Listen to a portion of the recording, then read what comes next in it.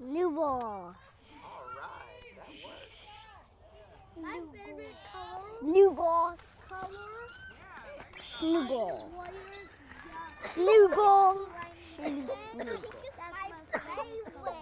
Color.